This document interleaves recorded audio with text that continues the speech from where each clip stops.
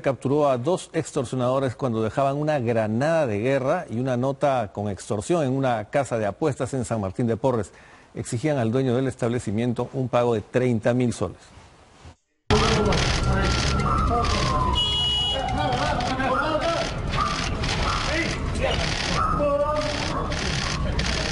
Agentes de la Brigada Especial contra el Crimen de Lima Norte capturaron infraganti a dos venezolanos cuando se disponían a dejar una granada en una casa de apuestas ubicada en la urbanización Los Cipreses, en San Martín de Porres.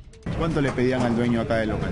Eh, inicialmente habían hablado de 30 mil soles. Está totalmente evidenciado de que estos sujetos son los extorsionadores que han venido pues, este, sometiendo a toda esta gente, este, incluyendo a estos propietarios de este negocio.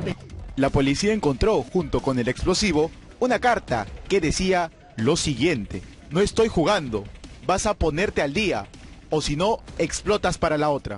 Entonces ellos venían para amenazar y, y, sobre todo para dejar una caja. Y en la caja en su interior había una nota con una granada de guerra. Según el coronel Guillermo Bonilla, estas personas identificadas como Robert Raúl Guerra Heredia, de 23 años, y Jesús Guerra Heredia, de 22 años, formarían parte de una organización criminal. Ellos son venezolanos. Los dos que hemos detenido son venezolanos. Y esta organización está integrada mayormente por venezolanos. Hasta el lugar llegaron agentes de la UDEX para llevarse el explosivo. Las investigaciones fueron trasladadas a la Dirincri. Buen trabajo ahí de la policía, 8 con 18 y en